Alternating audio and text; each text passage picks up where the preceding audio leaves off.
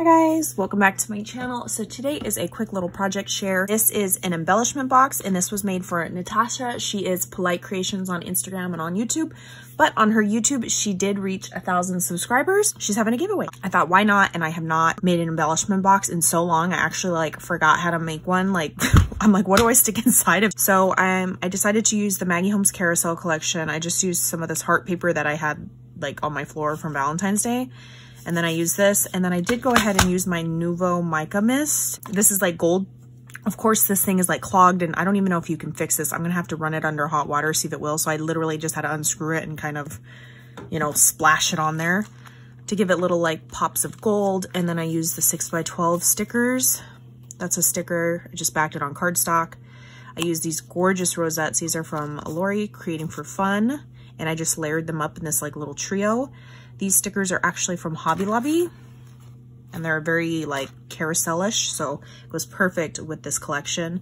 This little shaker rainbow, this is from AliExpress. This crinkle stone papered is from, I bought that from Kayla. I just cut it down so it wasn't so like wide. And then this pom-pom trim is from AliExpress. It's like a pastel rainbow color, super fun. And then I just added little clusters of sequins and pom-poms throughout. On the inside, I just backed it with that heart paper and then just did the with love. And then everything in here is, I mean, these little balls showed a little project share on how I made these guys. There's just blank ones from AliExpress and then I added some, these ones were already pre-made from Ali. These little bows are from Ali. Uh, these pom-poms are from Michaels. And then I literally just went through my charms thing and just started pulling one out of each. So there's like a bunch of different all sorts of fun charms in here. This is like a Martha Stewart paper punch uh, with the bow. These are like little tassels with a dangle bead on there. So I kind of just bent them and threw them in there. These are little, these are like charms. These ones are from Hobby Lobby, but some of them don't have the little holes on them. So the just a bunch of little roses. Then I got these from Ali, these little donuts these little bows I made, and they've got the little wire wrapped angle and these go perfect with carousel with the black and white pinstripe. And then I just did, these are some pink tassels, and these also are from AliExpress. so yeah, that's all that you needed to make. And then I did go ahead and make this little thing. This is what I had in mind when I hauled these from Dollar Tree like six months ago. I finally get to use them. It's the acrylic photo frame picture thing and it's got a clear coat on it. Once she peels this off, it'll reveal like a cute little like you've reached a thousand subscribers. That's just a fun little little extra for her craft room or whatnot. All right, I will leave Natasha's information down below and her giveaway video, and I will catch you guys on the next crafty video. Bye, guys.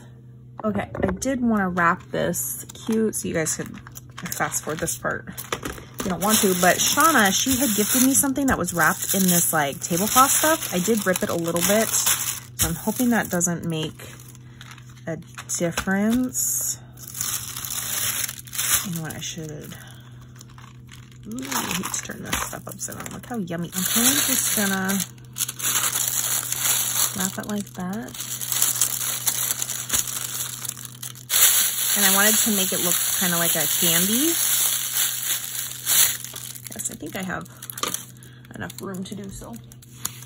So I'm to use some of this yarn from Joann's. Just tie the edge and then I'll probably tie like a tag or something on it. Super cute. And then I'm probably to put a, I should probably use this big giant um, piece that is always hard to use because it is so massive. So I think I'm just gonna stitch this and then put that on there. So I'll do that real quick. Like so, just quick and easy, just to give the packaging a little something. Oh, you know what I should also do is um, spell her name out in thickers. I think we're gonna do that too. Okay, so I added the thickers, spell Natasha right here stitch that and it just it brought it a little bit more life. I know she's just to rip it open but still. Oh some of the thickers are on here. Okay. Yeah that is my entry and i will catch you guys on the next crafty video. Bye guys